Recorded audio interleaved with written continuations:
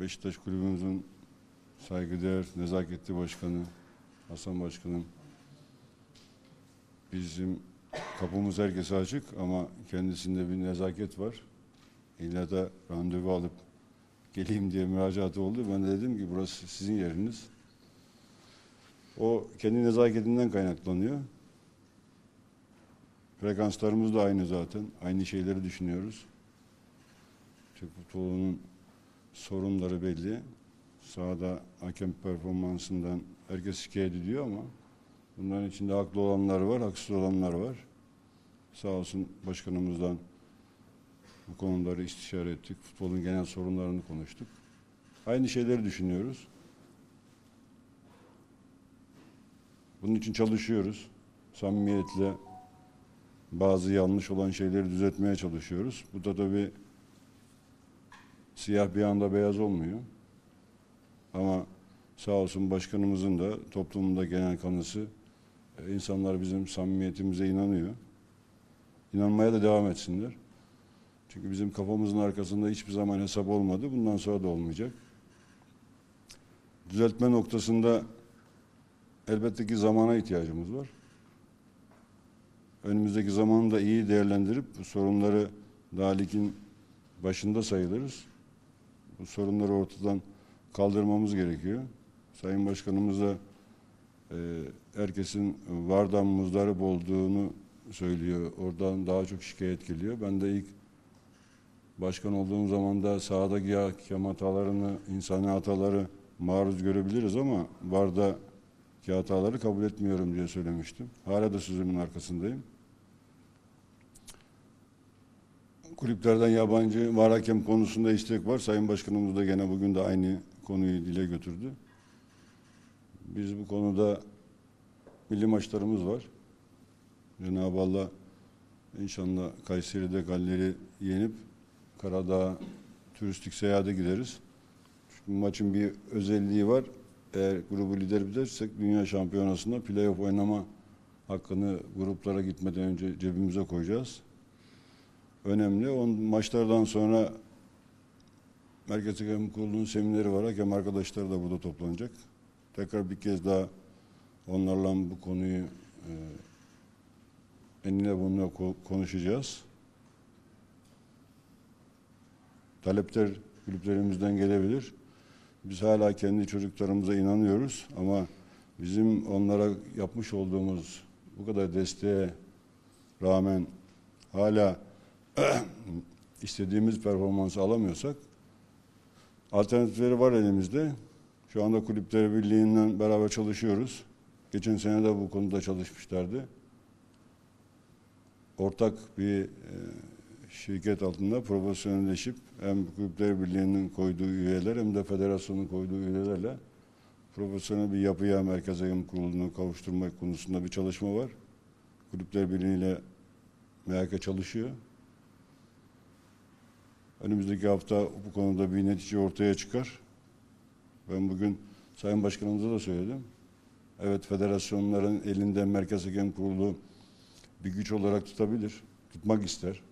Herkes tutmak ister. Güç benim elimde olsun.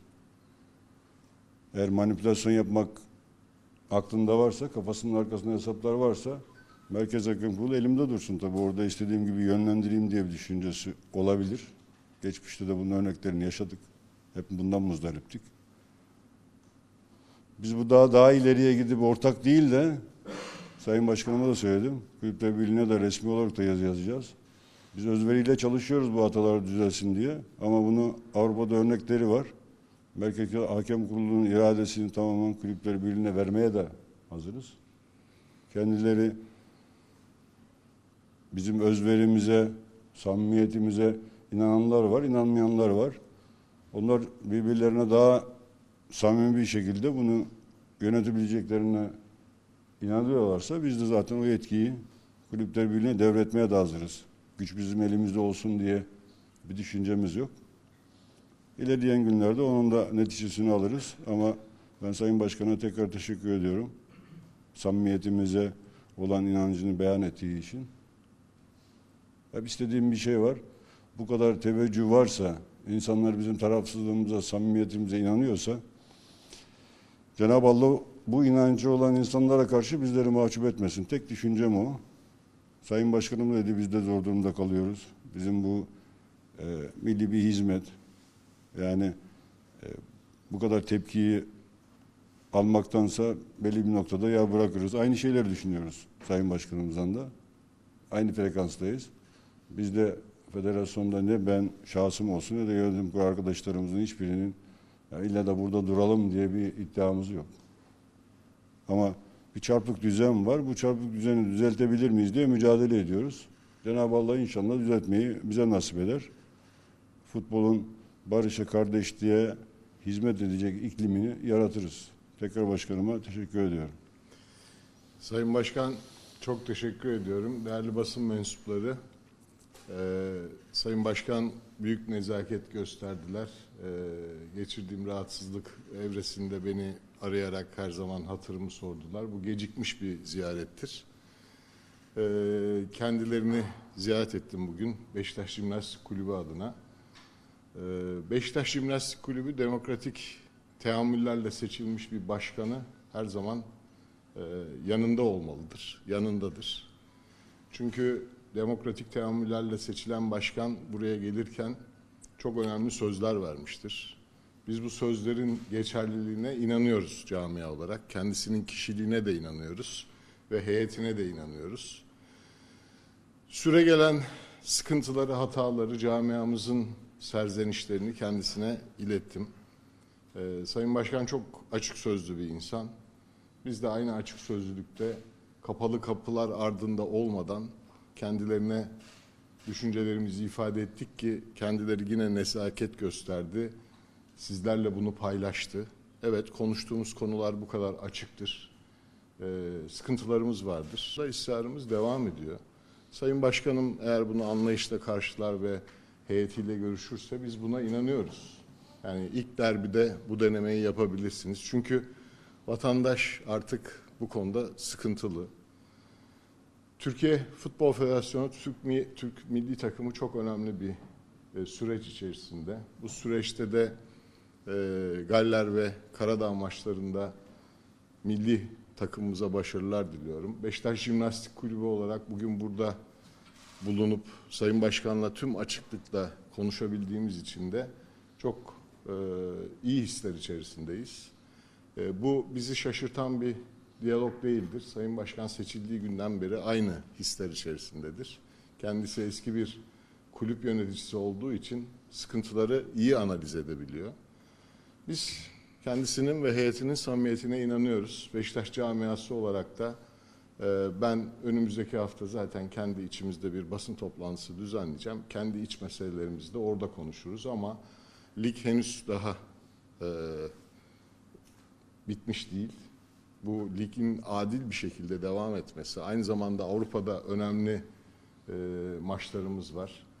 E, bunu tercih ediyoruz, iyi olmasını tercih ediyoruz. Tel Aviv e, kararı konusunda Sayın Başkanımızla sürekli temaslarımız oldu.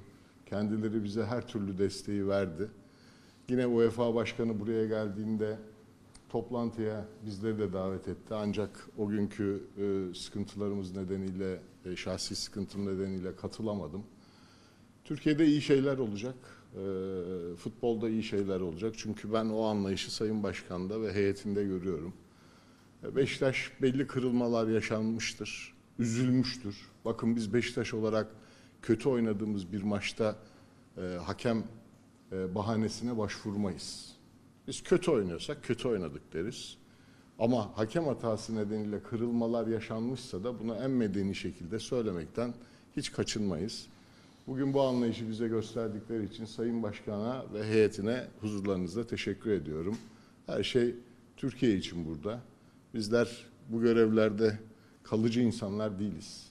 Önemli olan görev yaptığımız dönemlerde e, olumlu birer damla bırakabilmektir. E, herkes için hayırlı olsun. Sayın Başkan'a huzurlarınızda tekrar teşekkür ediyorum bu nazik misafirperverliği için. Ben teşekkür ederim başkanım.